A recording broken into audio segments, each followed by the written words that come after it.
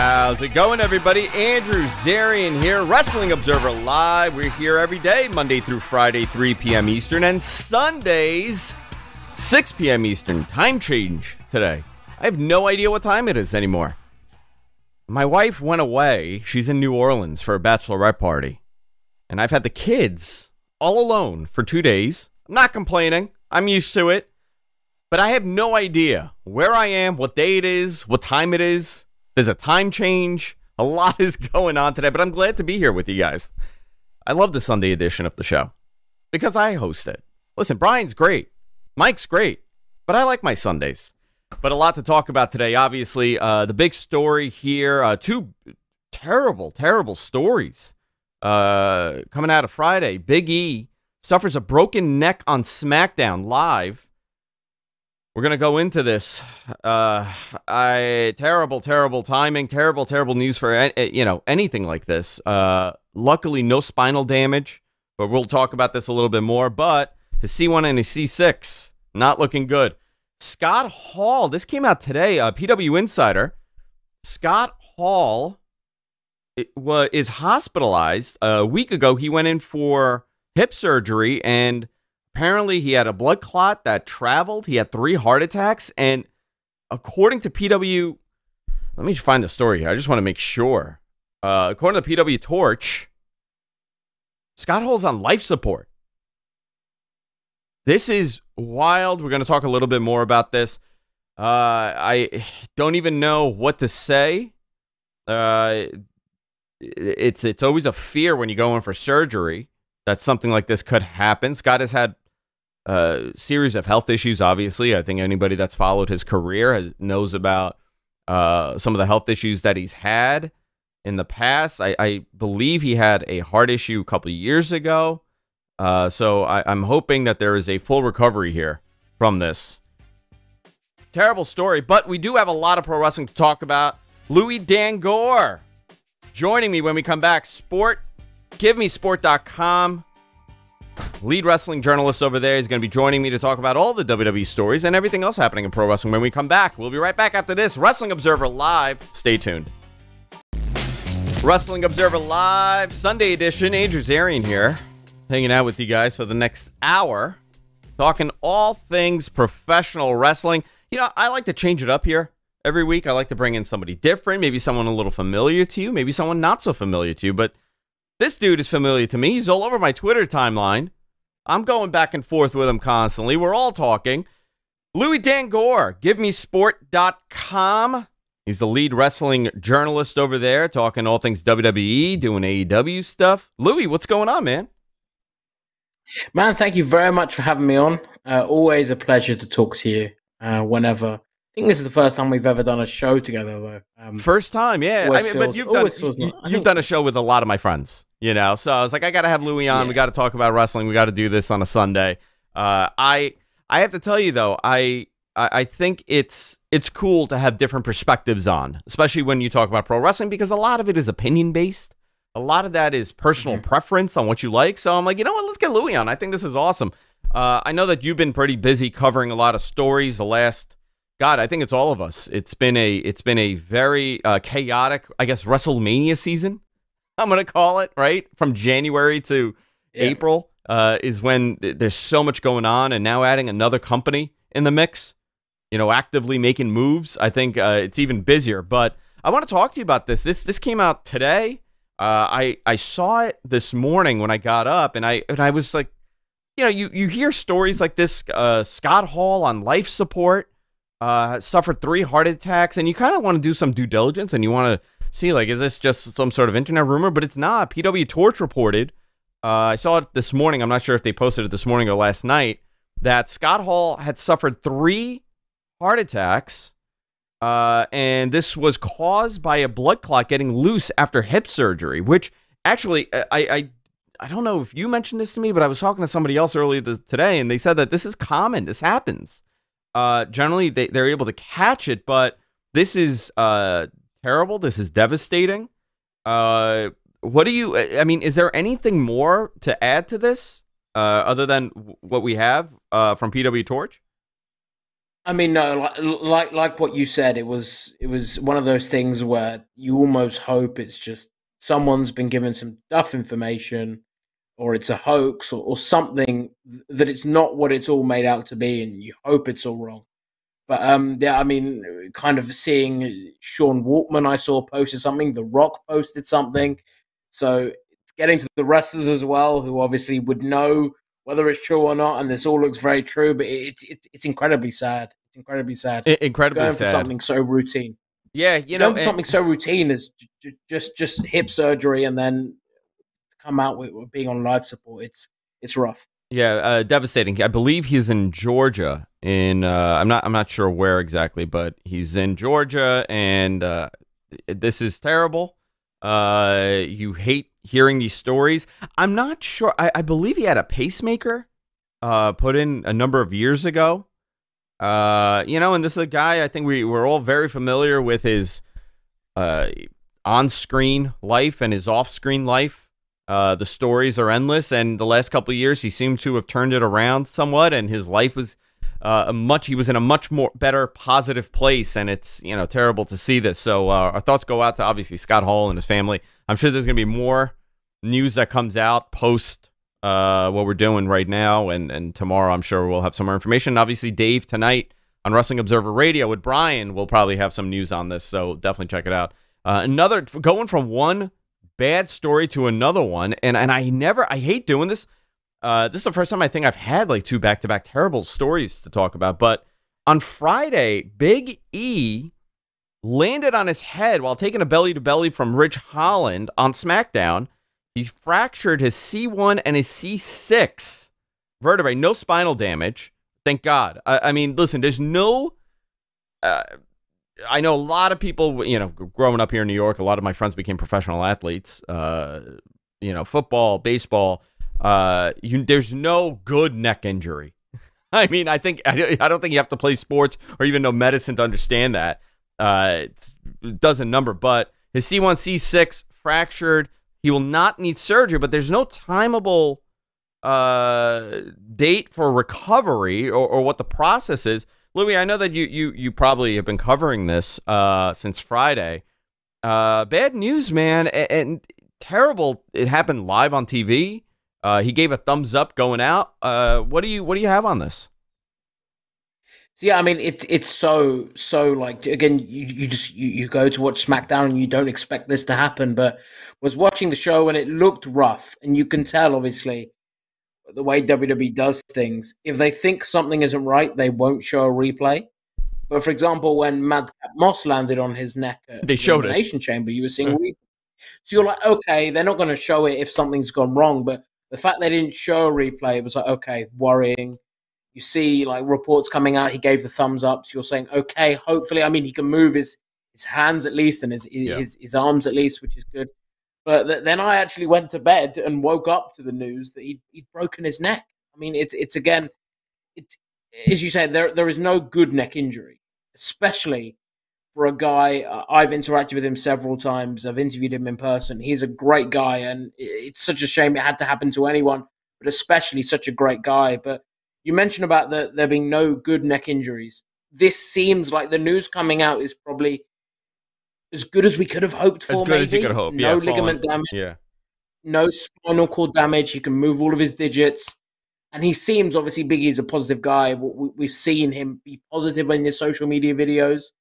But yeah, I mean, it, it's it's a long road to recovery. One that we're likely not going to know how it's going to turn out for, for, for weeks and months. I wouldn't expect him on TV probably even this year, or if it is towards the end of the year. But again, just, there's no time on it. Neck yeah. is certainly not something that you, that you want to mess about with. So obviously, again, thoughts go out to him, prayers go out to him. But just again, two two rough stories to cover, particularly particularly this one concerning. I mean, both both are awful, but this one concerning Big E, it's just it, it's more. Fact, we saw everything. What happened on TV? Yeah, just, you saw it on TV. You know, I I, I do have to say he he has such positive he has such a positive outlook on everything and, and this is known about him. Mm-hmm. Uh, I think he tweeted or, or said he goes I couldn't have asked for a better place to be in for an injury like this because he was in Alabama and it has you know obviously mm-hmm. uh, WWE's one of their lead guys for surgeries. uh, is over there. I I think uh, I I you know the, the these are not normal you know everyday people right? The, the way that they train and they take care of their bodies and their workouts uh, if if you are going to recover and return uh, from this type of injury obviously a professional wrestler or a professional athlete their bodies do things that that normal bodies can't. Uh, we've seen this in the past. We've seen john cena return. Uh, even Drew McIntyre returning from his uh, injury that he had a couple months ago, he came very quickly because they, they're almost superhuman of sorts. You know, the, they're able to mm-hmm. the things that they put their bodies through. They're they're building muscle around it, and obviously Big E's a big dude. Um, I hope he, I I hope we see a quick recovery. But you know, this says something, and and not that he took it wrong or or, or it was the move was it, it, these things happen, right? And you know, a couple weeks ago, Louis, and I and I don't know if you tweeted about this also, but you know, that Bobby Lashley match where Brock was suplexing him, and more and more Lashley's taking those bumps on his neck. Uh, you know, we've kind of mm-hmm. evolved and, and we've changed the way that these, these we as it as if I, I take these ridiculous moves in wrestling. We we've seen uh, the placement of taking a bump go more towards the shoulder. You don't want to take it on your neck, but occasionally you see these guys for more dramatic impact take it a little bit higher maybe this is a little bit of a, a rude awakening for a lot of people saying like listen maybe i shouldn't be taking this on my neck yeah i mean it, it's a scary thing and i'm sure i'm sure like, like you said it, it, looks a lot better when someone does land on their neck in terms of the replays and everything it just makes it look more brutal but i don't know about you i would much rather see it look less brutal everyone land on their back and their yeah. shoulders but but but but but not land on their neck. But yeah, I mean, accidents happen in wrestling. It is a reminder that yes, I mean, as you know, as a wrestling fan, as someone that comments on wrestling, I'm sure you sometimes get the comments from your friends and people you you might know from, other areas of life that go with the classic, oh, it, it's it's wrestling, it's fake thing. But this is a, just just a reminder that things happen. Things will happen, and yeah. bad, bad, bad injuries can happen. Uh, from again, from even simple moves. You know, like you see these suplexes mm. daily on TV. Mm. It's, you know, it, it, it, it is rough. I mean, rough. I, yeah. Hey, we're going to come back from this break. A lot to talk about. Steve Austin, uh, some changes there. And Cody, the mystery of where's Cody? We're going to talk about that. Louis joining me. Wrestling Observer Live Sunday edition. I'm Andrew Zarian. We'll be right back after this. Wrestling Observer Live. Andrew Zarian here talking all things professional wrestling. You know, a lot's going on. Uh, Steve Austin news. Let's go into that one. You know, I, I have the the last two weeks, man, unbelievable. Talking about wrestling. I never thought I'd be talking about a Steve Austin return again after 19 years, but here we are. And a lot of mystery around mm-hmm. this match of sorts. So we finally saw the video package debut this week online. It was a noon release. They released it on social media of Steve Austin and his, you know, quad going down the desert and stops and he cuts this great promo on Kevin Owens and he said it's been 19 years since he's stomped a mud hole into somebody at WrestleMania, which is not really true. You know, we're forgetting about the New Day stuff. We're forgetting about a lot of the other stuff, but, you know, kind of alluding at a match. And he didn't say it's not a match. He didn't say it is a match. It's going to be something.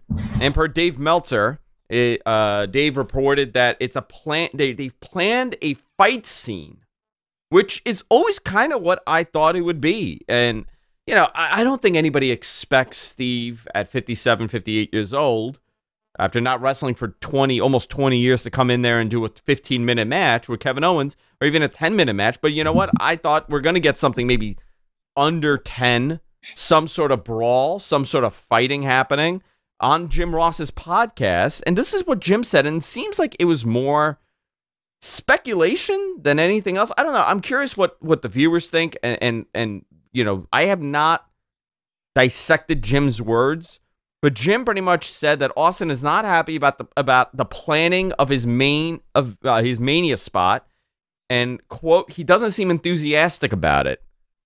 Louis, what's going on with this? did they did they mess yeah, this up? I don't know, man. It's so difficult, and I'm sure that the, the initial reports that they wanted a match, and I don't think they were probably able to get that over the line, which is which is okay. I mean, it's it's well. I'll probably... tell you what was said to me. I was never told that the match is happening. I was told this is the closest that the company has ever gotten to Steve having a match. Yeah, I mean, I get. I, I, I, to be honest, I was never told anything. I was never. I, I, never really asked about it. I mean, it came out the same time as the Cody news, and that was always the one that kind of yeah was I, I was asking about. But um, from this anyway, what what was most interesting to me was the, the, the phrasing of the things that he said in in his in his promo, which was great, by the way. Did remind yeah, you just how promo. great Austin is on the mic. But he was like speaking about things being awoken in him that had been asleep for 19 years and what people were saying. I, listen, we know that sometimes history can be rewritten into a way that it's not kind of. They can say, "Oh, he hasn't done this in 19 years," when we all know he has. But yeah. I think this is the most physical he'll have been in that period. I'm expecting, like, like, like, kind of what Dave said, a bit of a brawl, a bit of maybe something. It, it will be like an entertaining KO show segment, and it will end with him drinking beers, having stunned uh, Owen It's gonna happen. Yeah, it. Ha- I mean, I that's that's maybe... the ending. it's always going to be a brawl. It was yeah. always going to be a fight of sorts, and not you know a, a classic match. But listen, for me as a fan of Steve Austin, you know, Attitude Era. That's what I grew up on. I mean, I grew up on the '80s stuff, but the Attitude Era was my peak teenage years, and uh, in the same way that a lot of teens connected with pro wrestling, I did too. Uh, I, I think to be able to get something that's a story internal, he uses the stunner also. He's taking shots at Texas. They've done everything to set this up. And I got to tell you, not a bad setup at all. They've done it the right way. It's just a matter of what is Steve going to commit to? And it seems like, you know, they're leaving the door open to see maybe at the last minute they're going to get a they're going to get an official match. Listen, you can ring that bell. It doesn't matter, right? Is Steve going to come out with the with the short shorts, the denim shorts? Is he going to come out with the trunks? That's what it comes down to. I I think he's just going to come out does he wear the knee brace? I hope so. Give it a big fight feel with those knee braces. I think that this is the closest we're going to get ever. Uh, and listen, we don't know. Maybe he goes in there, he does whatever ridiculous thing that he, they're doing, and he feels pretty good about it. And this maybe leads to something else, or he kind of finally closes that chapter for the fans, not so much for him. Because, uh, I mean, Louis, you've heard him say it too. He's totally content with not wrestling. So something changed it's probably you sp- spoke about it closing it for fans and for him. I think probably for Vince as well. Probably for Vince as well. This will be like I'm sure that uh, him the show being in Texas two nights, them selling it as the most stupendous WrestleMania ever. They want to have everything yeah. they can have. Stupendous. Austin, Austin is he, listen. He, you you'll know, I'll know when I've written articles about him, they've done well. They've got that mainstream attention that if I write an article about AJ Styles and Edge, as great as a match that is and as great as a match that'll be, we both know that Austin's going to get more buzz. Of course, get more yeah. buzz from your mainstream sites. WWE showed that on SmackDown when they did that, the kind of the video package where you see the headlines from all of the big sites. It was on Forbes, it was everywhere. So I get why they want to do it. I think this is we'll probably see him for the first time, and correct me if I'm wrong, I don't think it's ever been much, at, if if anything, where Austin's come back and stunned someone, but they've given him something back. Yeah, I think that we might have it a little be a little bit more back and forth. But obviously, again, the ending of Austin stunning him and drinking the beers, it, it, it's written and it will be great, and I'm sure it will probably be one of the loudest reactions that you get all night. Oh, and those fans are going to go nuts in that building. You know, sixty thousand or so, whatever, whatever they have on that on that night. Uh, they, are going to lose their mind. Kids are going to love it because their dads are losing their mind, and every, it, it's going to be a fun experience for people in that building. Than, I, I, whatever they do, I'm sure it's going to work out fine. It's going to be WrestleMania. People are going to be into it. Regard, you know, do do we realistically want to see Steve Austin have a you know a long real, real, and I'm using hand quotes for people listening on the radio, a real wrestling match? No, not really, but you can do whatever you want. You know, a couple minutes here, a couple minutes there, and you have a whole segment that, that's as good as a match. So we'll see what happens with that. So something else, you know, that kind of took over the Steve Austin story when it first came out. And this Cody debacle, the Cody verse, is still continuing to saturate pro wrestling news. Uh, there's no contract signed yet. So about a week ago, it came out that there was a snag in the signing. I think Cassidy uh, Cassidy uh, Haynes wrote the story that he had heard that the deal was falling apart. If I'm, I'm, I'm filling in the blanks here, I don't want to I don't want to misquote him, but he pretty much said that the deal was not it was not a done deal yet, and things were happening that not in the positive of signing him. Dave mentioned that there was no contract signed. He was penciled in for Seth for Seth Rollins at WrestleMania. Man, I think that's a great match to have at WrestleMania. And there, that window of opportunity for WrestleMania is closing. Not that not that the deal is going to close. They're not going to sign him. I don't. I, I haven't heard anything as far as that goes. When I called to confirm, uh, you know, when I spoke to someone at WWE last week, they gave me the very typical. There's no truth to that story. Things are fine. Nothing bad is happening, but I think more people have confirmed that the deal is kind of stalled out a little bit here. Or maybe maybe they're working everybody here. The deal is signed. They're in Jacksonville tomorrow. What a, what better place to debut them as a as a great you know dig at AEW if you're WWE. What do you think? Tomorrow's the big. Tomorrow's Raw's big. Tomorrow's Raw is if he's there. If he's there, huge. It, it's if he, listen it, it, it's more if he's not there, it's not happening. if he, well, there's, I mean, you what, could, I mean, you could work the deal out possibly, and you don't do WrestleMania, you do something after WrestleMania, you know, and and, and you know what's funny? And here's something that's really funny here, and I want to I want to know if you've heard the same thing. Normally, when I hear about a guy coming in, right, a- AEW side or WWE side, I never hear so much about the camp and the team and less about the talent. I have heard zero about Cody and what Cody wants and what Cody's asked. Like normally you hear those rumors come in, true or false, it doesn't matter. It, it's you know, it's the journalist's job. Not that I'm a journalist, but it's the journalist's job to kind of figure out and and to better understand, you know, what is a truth and what isn't. I have heard zero from WWE about Cody specifically. Every word that has been used is Cody's camp. That eh, to me, that's the first time that I mean, listen. A lot of guys use a team, man, uh, agents, managers. You got a whole thing, but I never personally have been told, you know, so and so, you know, this one's camp or that one's camp. I always just hear that, oh, they're working on the deal with Cody, whatever. Why has it become such yeah. a big deal that it's the camp or it's the team and less Cody? I mean, Cody is whether whether people want to admit it or not. He's got a reality show. He's got yeah, he's a star. TBS. He's a star. So there are probably things beyond just what does Cody want to do at WrestleMania that have to be considered. Um, I think it's also kind of smart from Cody's camp to play it that way because it does make him feel more like a big deal.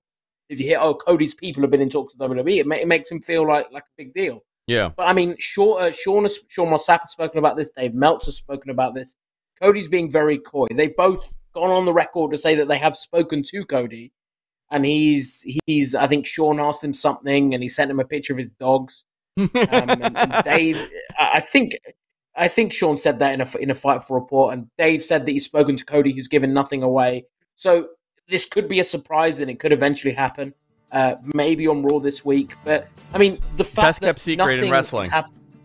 the best kept exactly. secret on wrestling. Exactly. Uh, we'll, we'll pick this up where we left it off after this break. Wrestling Observer Live, Andrew Zarian. We'll be right back. Andrew Zarian here. We're talking Austin. We're talking Cody. We're talking all these debuts happening. They got to do it tomorrow if they're doing it, man. I, I, I, that time frame. Uh, listen, we were talking out during the break, Louis and I.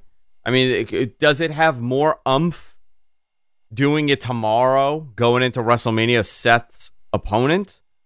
Or you do something the night after WrestleMania, and, and I mean, what what's more valuable? What do you think, Louis? Night after WrestleMania or Monday? I'd, I'm, I understand the appeal of night after WrestleMania from a fan's perspective. It's the show traditionally; the biggest things happen supposed to be a reset, and what's a bigger reset than the AEW EVP coming in? But if you want to sell tickets for WrestleMania, if you want to sell uh, subscriptions to Peacock, WWE Network, it's getting Cody on the card, getting that buzz going into WrestleMania. because we spoke earlier about the, what what the mainstream sites pick up, the Austin return, yeah. things like that. One thing they will also pick up is is Cody coming to WWE. Um, the buzz has died down from what it was. Um, but when it's a big deal, and this is a big deal for Cody, things happen. Uh, yeah. I know that his show, the Go Big Show, uh, ended on Thursday, so he's looks like he's officially done with TBS and Warner Media. Um, so I mean, as far as we know, so I see if it's going to happen, it's going to happen on Monday uh, or tomorrow on Raw, because uh, there is nothing for Seth right now, and I suspect that's where it will go. But you look at what thing like kind of what's been teased for Raw. And there's been nothing like even what's happening next. yeah, well, I mean that's a make... little bit of a problem, right?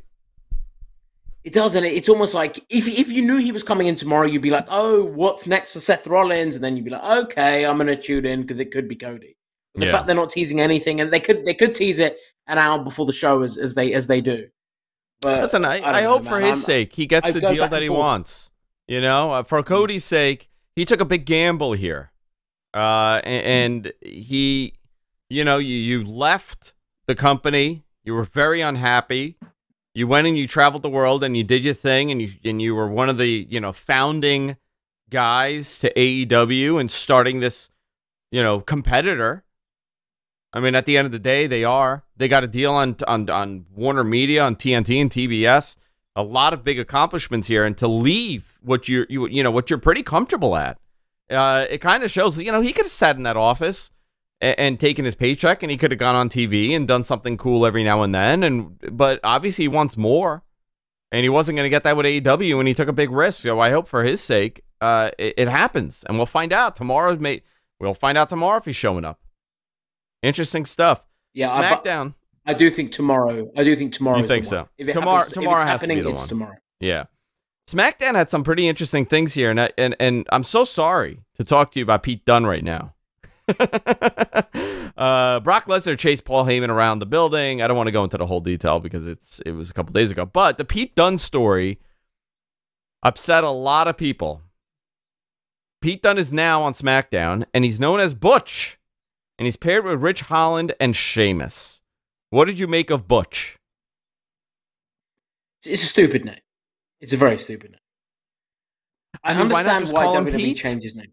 I mean, you could call him Pete. Again, again, I, I get why WWE changes names, so I'm not even upset at them changing Pete Dunne's name. It wouldn't be what I would do. I would keep his name as Pete Dunne. But if you want to change his name, as you say, call him Pete, call him Dunne, call him something that's just not Butch. Give him a normal name. Yeah, this is like the Gunther. Not, not to say that anyone called. it, it is, it is, but it's it's it's almost like, and the annoying thing as well, the idea of Pete Dunne with Ridge Holland and Sheamus is pretty exciting. I quite, I quite like that idea. You like the team? It, it's quite. I think it's it's. I mean, as a Brit, it's always nice to see kind of your fellow Brits together. Yeah. I think they're all they all work a similar kind of hard hitting style. Pete's obviously the best wrestler out there. I think Sheamus is great as well. Really has had a great kind of going on two years now. I think that there is a lot of potential for this group, but again, you're going to have that. It's going to be an uphill battle for, for Pete to get over as Butch, but it's it's one mean, of those things oh, where Peter, it's going to happen. What's wrong with Peter? You know, you what what what what what's fascinating to me, and this is the thing that that's, you know, like we have forgotten WWE used to do this a lot, right? Uh, we've seen it where somebody has come in under a different name, they get injured, they go away, and they come back as a whole new person. We've seen this happen with guys like Kane, uh, you know, early on in his career, but I don't think we've seen this happen. In, in uh, I can't think of an established guy in the company, someone that has been established as somebody. Not saying that they're they're on the main roster established, but Pete Dunne was very much known to the WWE universe, known to non NXT yeah. fans because he's done stuff on the main roster. They've presented him as this tough as nails, you know, the bruiser weight, and this guy's tough and he's this, and they've created an identity for him for years. They've created an identity. Yeah. And yeah, I guess, uh, and now like uh, they, they, you know, if he had gone away for like six years or seven years, and then he comes in and he looks different and he acts different. Okay, you know what? You're just he's a different guy. But this guy was on TV weeks ago. Last week. Mm. You can watch him on NXT. People are very familiar with him. You've sold toys. You've put him on pay-per-views. You've told me that this guy is legitimate and now you're just making him into Butch. I ask why. I get I get that they want to control the name and the branding and the marketing. But marketing Pete Dunne uh, in this in this scenario, uh, marketing Pete Dunne is a way better way to market than than Butch. Because I don't know what kid is going into the store and they're like, no, I have to get the Butch Series One from yep. Mattel. I have to get the Butch Butch doll, Butch action figure. Yeah. I don't know. You do you? Uh, uh, is it that it's a lack of creativity that's upset, upsetting people? Because I think it's more that it's a lack of creativity with the names rather than anything else. Yes, I think so. I think it is that kind of of all the names you come up with that. But I think it's also it's also that why fix what isn't broken? There's nothing wrong yeah. with Yeah, but they don't I guess they have it a very different from, mentality. They have a very different mentality. Of course. They have they, they, have a mentality of we don't want Pete Dunne being on the main roster for two, three years, his contract coming up, and them going to AEW as Pete Dunne because we don't own that name and then him essentially and AEW essentially profiting off three years of WWE's exactly. exposure. Yeah, uh, but uh, it's typical. What, I guess what you kind of spoke about Pete being established, though, I'm not going to challenge that because I agree. One no, of the longest challenge it, challenge it if you are. Not even a challenge. It's more from WWE's point of view. Do you think they sit there and go, of the two million people that watch SmackDown, how many know who Pete Dunne? of the of the of the two and a half million. I think you're absolutely right. Listen, I I agree with you. I know how they think, and it and it has mm. that's one aspect of it. The other one is yeah. what everything needs to be marketable. Every character needs something to market. That stupid hat that he's wearing, the suspenders he's wearing. That's for marketing purposes. Uh, everything yeah. about that. I mean, uh, they're gonna they're gonna sell that ridiculous thing. You know, they'll, they'll go to the UK. Listen, they're going to the UK, right? They're going to have a big stadium show. I- I'm willing to bet that they're going to sell those stupid hats.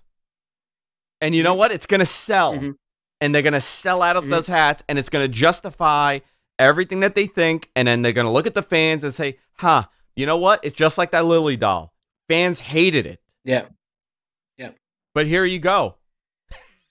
it's sold out. But, you couldn't get it what, what, when, when we speak about fans, we speak about the fans on Twitter. Very different. And often, very we are yeah. a very small minority of, yeah. the, of the of the overall WWE fan base. And I think I could see a situation where Pete Dunne's in a match, and the crowd do chant Butch. It's very uh, you know what they will. Yeah, yeah. I, it's, I, it's know, a one. I, I don't agree with it. I'm just trying to think from WWE's point of view, why would you do that? But it's like, you know what? You could see them chanting like Butch, Butch, Butch. You could see them doing it.